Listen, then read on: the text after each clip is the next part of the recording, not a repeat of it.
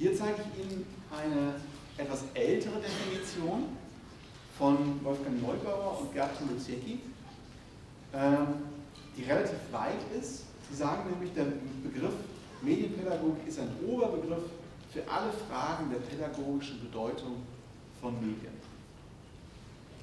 Sie sehen, kann man so offen sehen. Ähm, das ist ein Zitat aus 1979. Und wir schauen uns mal direkt 32 ähm, Jahre später ein Zitat ebenfalls von Gerd Luzetti, 32 Jahre später an. Da wird es schon ein bisschen differenzierter.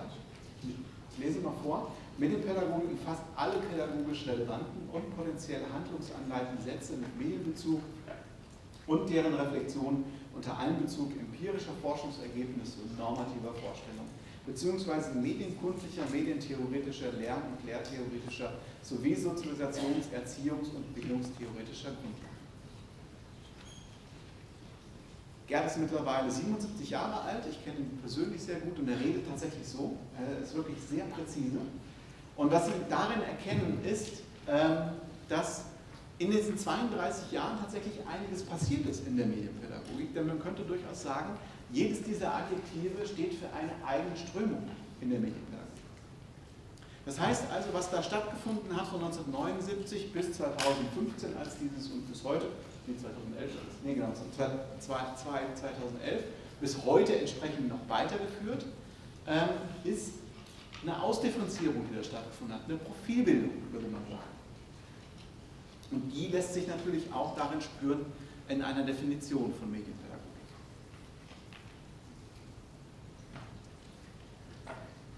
Und ein, ein Buch, das das ähm, ziemlich hilfreich nochmal darstellt, also einerseits kann man, das ist das, bereits die sechste Auflage der Grundbegriffe Medienpädagogik und in dieser, ich habe mir mal die Arbeit gemacht und habe die einzelnen Auflagen für einen kleinen Artikel den ich geschrieben habe, mal gegeneinander gestellt. Erste Auflage bis hin zur sechsten Auflage. Und interessant dabei ist, dass man genau diese Entwicklung, die wir jetzt nur anhand dieses ganz kurzen Zitats mal nachvollziehen konnte, diese Ausdifferenzierung ganz gut nachvollziehen konnte, so im Laufe der Zeit, anhand dieser, äh, dieser, dieser Bücher. Für sie ist dieses Buch aber insofern auch praktisch, weil dieses Buch nämlich eine Art Lexikon ist, ähm, in der ein bisschen ausführlicher diese Begriffe auch dargestellt werden. Wenn Sie sagen, ich muss mal kurz wissen und auf den Punkt gebracht, was ist Medienkompetenz, steht hier drin. Ich muss mal kurz wissen, was ist auf den Punkt gebracht, Mediendidaktik oder Medienbildung, steht hier drin. Und das Besondere, was diesen drei Herausgeberinnen und einem Herausgeber gelungen ist, ähm, war, dass sie jeweils die Kolleginnen und Kollegen angefragt haben, diese Artikel zu schreiben zu den ähm, zu den jeweiligen Begriffen, die ihr Leben lang mehr oder weniger dazu gearbeitet haben. Das heißt also, das ist wirklich, wenn Sie da kompakt ähm, sich informieren wollen zu den jeweils aktuellen Begriffen, Klammer auf, die in der Öffentlichkeit häufig falsch verwendet werden, also wenn Sie da bei der nächsten Party mal ähm, entsprechend ähm, mit dem gehobenen Zeigefinger auftreten wollen und sagen, Moment mal, also dein, dein Bildungsbegriff ist total falsch, ja, ähm, dann sei Ihnen dieses Buch empfohlen. Und für diejenigen, die nicht das ganze Buch sich anschauen wollen, die können natürlich, Sie wissen es, auch einfach in den Moodle-Kurs schauen, denn da sind die wesentlichen, die, Sie, die wesentlichen Begriffe, die Sie für diese Vorlesung brauchen, schon eingescannt und entsprechend hochgeladen. Unter anderem ist das die außerschulische Medienarbeit, die Schule, kulturelle Bildung, medienpädagogische Forschung, Mediendidaktik, Medienkritik, aktive Medienarbeit, Medienbildung und Medienerziehung. Finden Sie alles hier drin, beziehungsweise auch im Moodle-Kurs. Ebenfalls in diesem Buch finden Sie eine andere Definition von äh, Medienpädagogik. Die erweitert jetzt nun, Sie werden es überfliegen, wenn Sie es merken, diese erweitert nun eine Zielperspektive, denn darüber haben wir noch nicht gesprochen. Das heißt darin, Medienpädagogik bezeichnet eine Reflexionsform des Pädagogischen, deren Gegenstandsbereich sich aus lebenslangen Prozessen der Bildung und Erziehung unter den widerspruchsvollen Bedingungen mediatisierter Lebenswirklichkeiten konstituiert und die mit dem Anspruch auf Mündigkeit und Sozialität verbunden ist. Und wer jetzt genau liest von Ihnen, entdeckt weitere Hinweise die ganz wesentlich sind dafür. Welche Hinweise werden jetzt, haben Sie entdeckt, welche sind wesentlich? Nochmal für neues Verständnis. Wer hat es entdeckt? Ja? Lebenslangen Prozess. Genau, erstes der lebenslange Prozess, also lebenslang und Prozess. Ja. Was haben Sie noch entdeckt?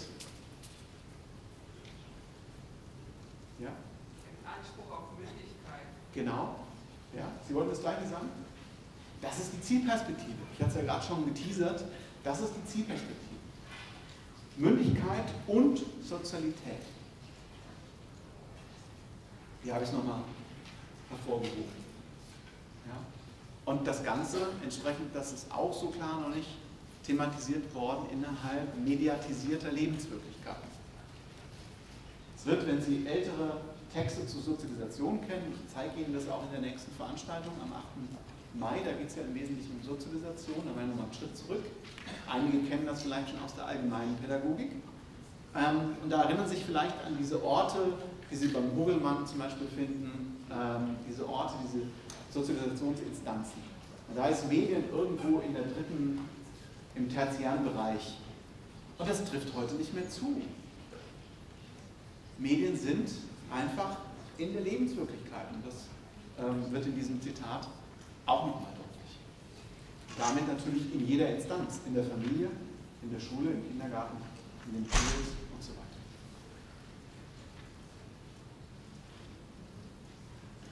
Da wird jetzt nochmal deutlich, dass diese Begriffe ähm, Medienkompetenz und auch Medienbildung auf eine Zielperspektive hinweisen, die man umschreiben könnte, so mit ganz großen, mit Mündigkeit und Sozialität.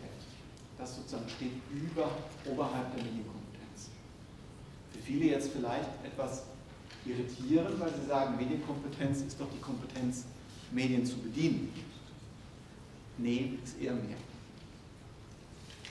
Und eher das. Ist, glaube ich, nicht unwesentlich, die technische Handlungskompetenz, aber eben, das ist mehr. Und das ist Zielperspektive von Medienpädagogik. Und lange Zeit war es so, dass es in der Medienpädagogik nur einen Begriff gab, das ist dieser hier, der etwas bekanntere, der häufiger in, mit Medienpädagogik in Verbindung gebracht wird, nämlich die Medienkompetenz. Ähm, und erst so in den 1990er, 2000er Jahren kam dann ein weiterer Begriff dazu, das ist die Medienbildung. Und irgendwie wundert man sich, dass dieser Begriff erst zu spät aufkam, denn wenn man so Überlegungen zum Verhältnis von Medien und Bildung anstellt, dann hat es eigentlich eine ziemlich lange Tradition. Ähm, denn streng genommen beginnt diese Verbindung eigentlich schon mit dem ersten technischen Medium überhaupt. Wissen Sie, was das erste technische Medium war? Das ist schon gefragt. Das erste technische Medium. Ich erzähle Ihnen gleich noch eine Geschichte darüber. Ja? Telefon? Telefon? Nein. Ja? Grammophon? Grammophon auch nicht. Ja? ja, das geht in die richtige Richtung. Noch ein bisschen früher. Technisches Medium ist streng genommen schon die Schrift. Die Schrift selbst ist schon ein technisches Medium. Ja. Medienwissenschaftler würden jetzt hier noch weiter diskutieren, ne? aber für die Medienpädagogik klammern wir das mal ein. Vielleicht haben wir noch die Gelegenheit dazu.